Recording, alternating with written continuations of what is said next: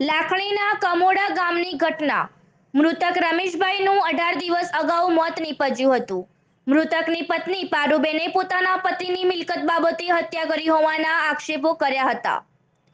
મૃતકની પોલીસે જિલ્લા પોલીસ વડાને અરજી આપી ન્યાયની લગાવી હતી ગુહાર.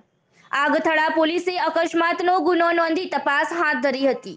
અઢાર દિવસ બાદ કમોડા ગામ ખાતે સ્મશાનમાંથી દફનાવેલ લાશને બહાર કઢાઈ. પોલીસ, મામલતદાર, તાલુકા હેલ્થ ઓફિસરની ટીમ અને સામાજિક અગ્રણીઓ અને ગ્રામજનો સહિત પત્નીની હાજરીમાં લાશને બહાર કઢાઈ. લાશને બહાર નીકાળી સ્થળ પર પેનલ પીએમ કરાયું. વિશેરા એફએસએલ ખાતે મોકલી આગથળા પોલીસ વધુ આગળની તપાસ હાથ ધરી. રિપોર્ટર ભમરાજી વાઘેલા થરાદ.